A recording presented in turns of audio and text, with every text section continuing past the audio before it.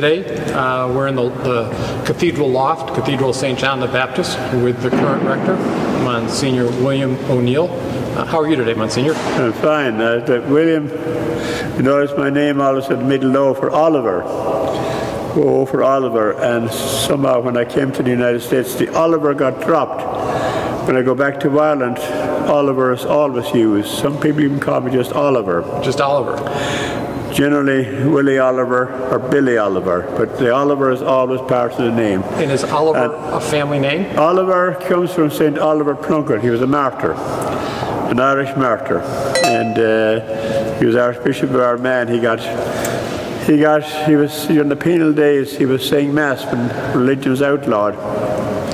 He was captured. In those days, the priest's head was worth five pounds, which is the price of a head of a wolf. And Oliver Plunkett was captured saying Mass. He was taken to London, Tyburn. He was hanged, drawn, and quartered. So I'm named after him. Uh, he was almost hanged, drawn, and quartered here a few times. But anyhow, my name is William Oliver O'Neill. And uh, I wanted on my headstone Oliver. Oliver. Right. I'll, I'll, remember that. You remember that, Michael? Called me uh, Billy Oliver, Willie Oliver. Um, Billy Oliver. When, yeah, when, when and, did... and, I answered that like a chicken going for feed. Anyhow. um, when, when did you come to the States? I came in 1967. Uh, August the 25th, 1967. And um, how many parishes were you in oh, prior to coming to the cathedral? Oh, I'll tell you. Let me think fast. Uh, I was in New Orleans, you know, for six months. Bishop Frey sent the Irish guys to New Orleans for orientation. So I always considered New Orleans my first home. I've got sentimental attachments to New Orleans. So after New Orleans, I was St. Mary's on the Hill. Augusta, Immaculate Conception Augusta, which later on amalgamated with downtown Holy Trinity, now Holy Trinity, uh, and Sacred Heart. It was then St. Patrick. So Immaculate Conception was two, Holy Trinity was three, uh, Holy Family Columbus four, Blessed Sacrament five, Cathedral is number six. And how long have you been at the cathedral as rector? I'll be here 17 years on the 26th of August. And what did you think um, when you were asked to come be rector? Oh, I thought Bishop Boland was pulling my leg first. Uh, he took me out to lunch and he never said a word about anything. We eat lunch and he paid the bill and we got up to leave and he says, how would you like a change of address? And I was only eight years of Blessed Sacrament. I've trouble moving from one city to another, you know, getting used to people. So I didn't like the idea of having to now move on again. So I said, what's the address? And he said, 222 East Harris Street. Now I said, Bishop you're joking. I'm not the cathedral type. You know, uh, cathedral rectors are, I would say, a little bit more proper than I am. I have my own way of doing things. But anyhow, he, I asked him why cathedral, and he indicated that um, there would be a major restoration task ahead. And I love this kind of work, working on old buildings. I worked on Holy Family in Columbus before I came to Savannah. so he gave me two days to think about it. and I thought, I came down and looked around the place and says, yep, it is falling apart. I think I will enjoy putting this place back together. And the rest is history. Right, and, and how long did that um, um, renovation take? Oh, renovation. Well, you have to remember about 1997 we started the process of doing a study on the thing and how we'd raise the money. So we put it holding in motion for a diocesan fund drive. That was 97 and 98. So in 1999, on the first weekend in July, we began the work. I remember it very well, right after the 4th of July, 1999 and we moved in here. We actually moved into the basement by the following Ash Wednesday of 2000, and we were in. Uh, over a decade to get healed by, I believe, November 29, 2000. That's when the restoration was complete.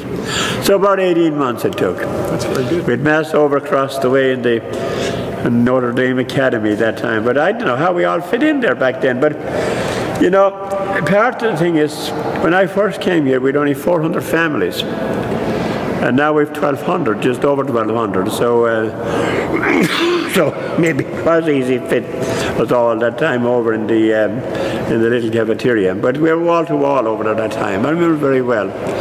And was, was what, what do you attribute the growth in families to?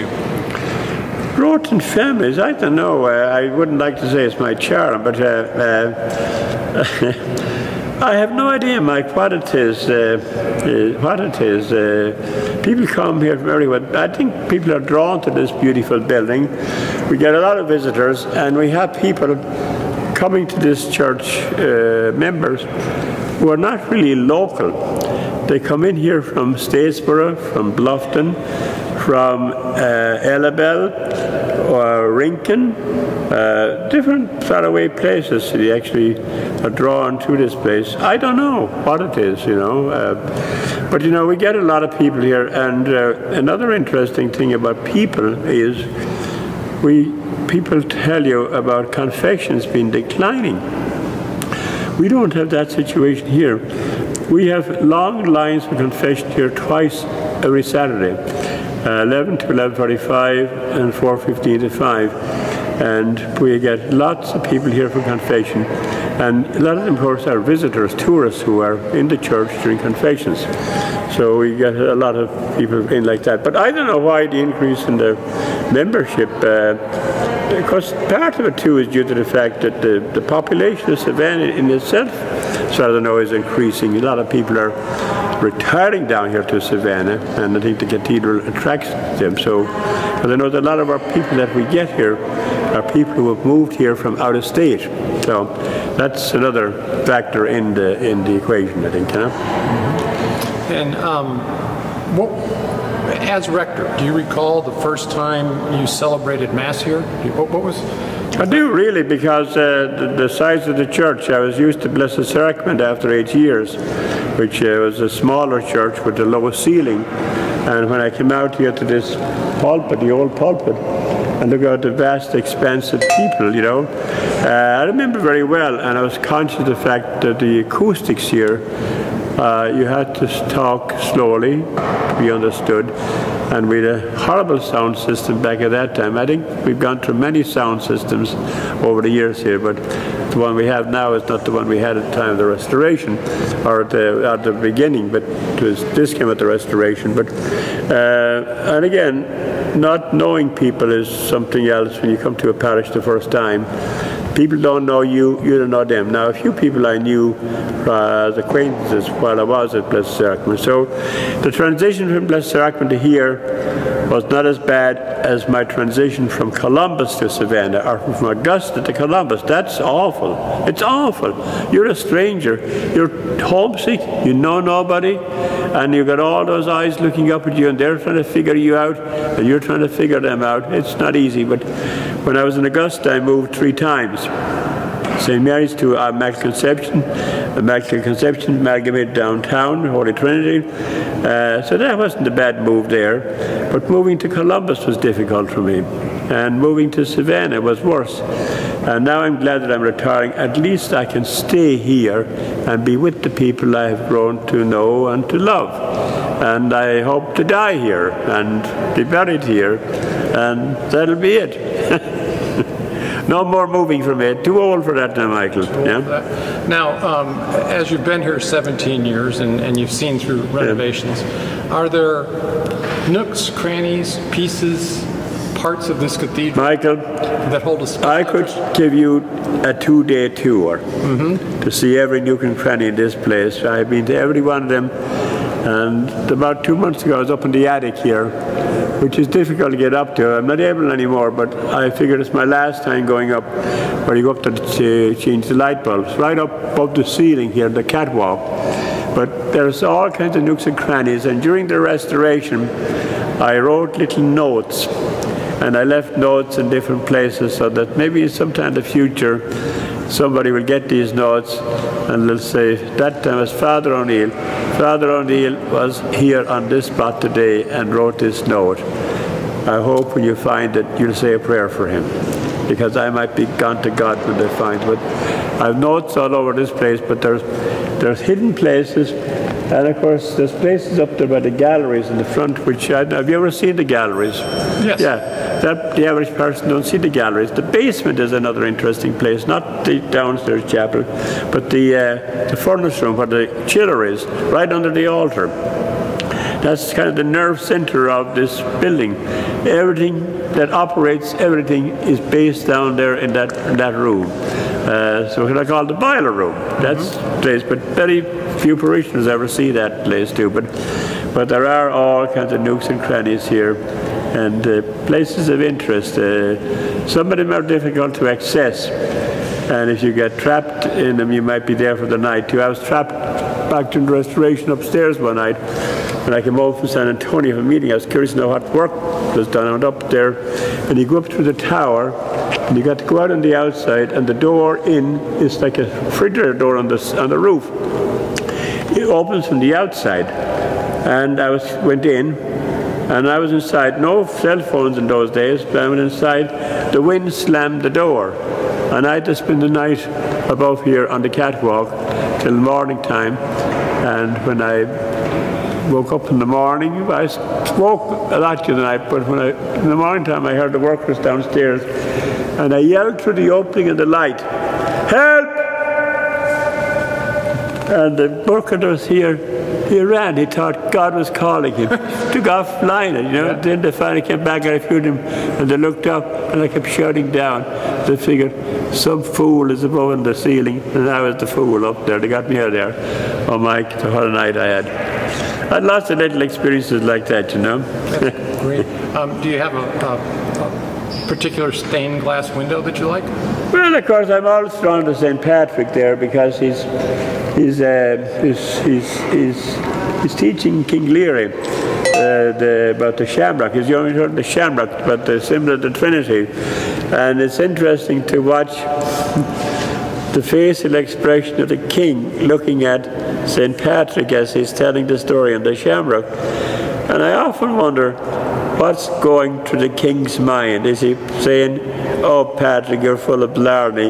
You, go, who do you think I am to believe this stuff? And maybe he's really impressed by it. I don't know.